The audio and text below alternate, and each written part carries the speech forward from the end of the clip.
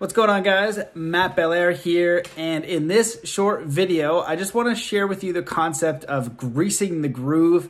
I heard this from Pavel Tsatsouline and it is an amazing amazing technique I tell everybody to do if they are working a job and they want to get in shape. It's a way to stay healthy, to stay consistent, to stay strong.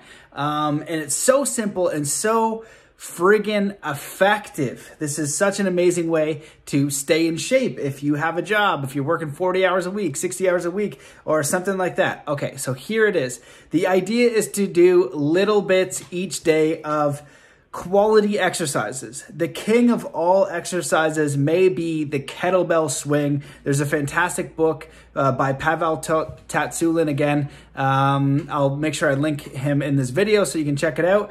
Uh, about why the science about why the kettlebell is so amazing. Olympic athletes use, use it. Every sport uses the kettlebell. So learn how to swing that thing. Do yourself a favor. Get up kettlebell, learn how to swing it. So kettlebell, also pull-ups are phenomenal. Um, if you can't do a pull-up yet, you can do this with push-ups or sit-ups or something simple. So here it is. The idea is just to do sets throughout the day. So I'm gonna flip the camera here. No, I just took a photo. It's okay, I flipped the camera. I'm gonna have to do this in multiple videos. I just tried to do it in one.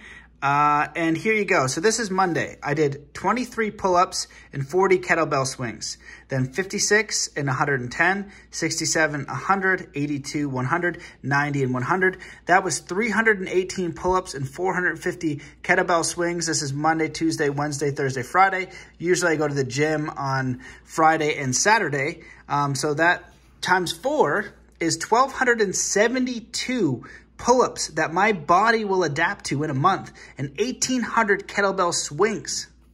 So that is quite a bit. That is a ton of swings. And the idea with those pull-ups, uh, just do them in sets of like three or four. That's what I do. With The idea is to not burn yourself out. So if you can only do one pull-up, just every time you like if there's uh somewhere you can put a pull-up bar just do one as you go through the doorway uh, through the doorway throughout the day. So you just do one and one and one and maybe you do 10 that day right? And the next day you do 10 um, and then next week you can do two or three right? So only do one and stop when you get tired um, then you do one and then you do two so all of a sudden you're doing 30 a day um, and then in a month right let's say you could do seven pull-ups maximum you can only do seven maximum pull-ups you do sets of three you do uh, 10 sets of three and two and maybe a, a, couple bonus sets. Now all of a sudden you're getting into 40 and 50 pull-ups a day. And so for here, you know, I don't max it out. I only do three or four. Sometimes I'll give it a break and then I'll try to get to seven. But the second I get tired, I stop. And that's the key is to let your body recover.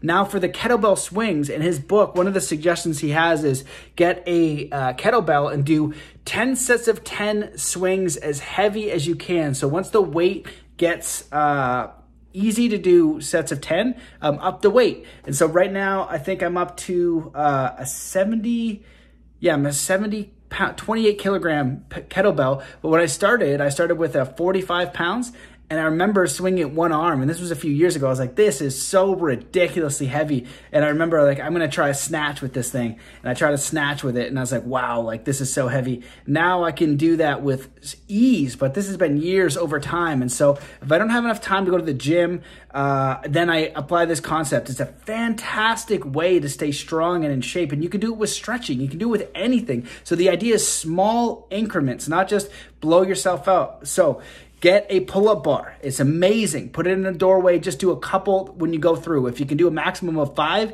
do one or two. Then do one or two again in 20 minutes, 30 minutes, 40 minutes. If you work in an office, get yourself a kettlebell, man. Get it. And just do 10 sets of 10 throughout the day. That's it. It won't make you sweaty. You won't do anything. If you don't know how to swing a kettlebell, make sure you get a trainer to teach you how. But if you do that, you will experience such strength. Your body will tra transform. And it is such an amazing hack to getting in shape and getting strong. So grease the groove. Just do a little bit throughout the day, throughout the workday. This is just such gold knowledge for anybody who's working 40 hours a week. You can put a kettlebell there. Make sure you know how to swing it. Um, and that's it. So if you have any questions, post it in the video below or in the comments below anyway. Uh, thanks for listening. Have a great day. Peace.